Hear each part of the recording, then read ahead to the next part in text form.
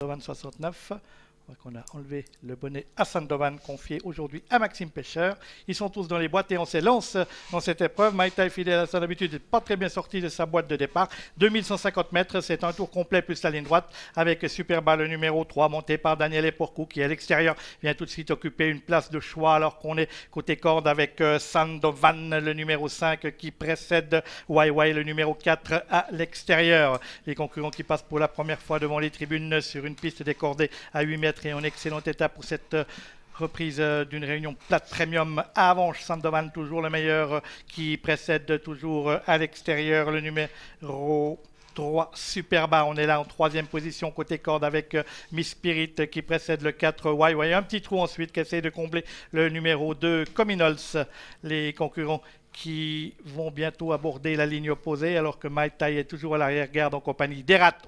C'est Sandovan qui a toujours le meilleur, le numéro 5 qui précède à suite euh, le numéro 3 Superba qui vient avec Miss Spirit précédent YY Cominols avec toujours Erato et Mai Tai qui ferme la marche de ce petit peloton qui est dans la ligne opposée avec un train régulier imprimé en tête par Maxime Pêcheur qui se retrouve en selle sur le numéro 5 Sandovan, suivant le numéro 3 Superba et Daniel Eporcou. On vient ensuite avec euh, Miss Spirit, flanquée de YY et sa casaque bleue et jaune à l'extérieur. Cominols venant ensuite avec un parcours tranquille, comme nous l'avait expliqué Clément Leroux côté corde. On vient ensuite avec Erato et Denis Schirgen. C'est toujours Maitai et Astrid Wilschlager qui ferment la marche de ce peloton qui attaque maintenant le tournant final.